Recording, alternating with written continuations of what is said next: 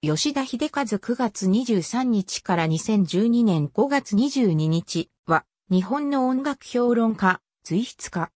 クラシック音楽の豊富な体験、知識をもとに、音楽の持つ魅力や深い洞察を優れた感覚的な言葉で表現、日本の音楽評論において先導的役割を果たす。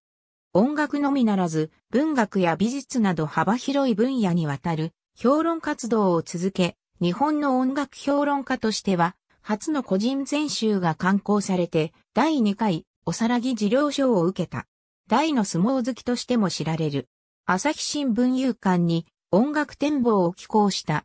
毎月の寄稿は一時期中断していたが、2006年11月に復帰、以後、年4回のペースで掲載。約2年の長期中断の理由は、2003年11月に、婦人吉田イコール、クラフトバルバラの死去による精神的衝撃が大きいためとされる。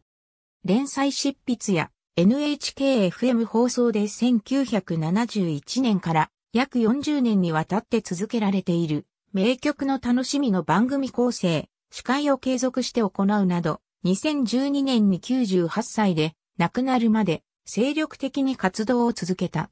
読、仏、英語に通じ、特にドイツ語とフランス語の訳書は数多い。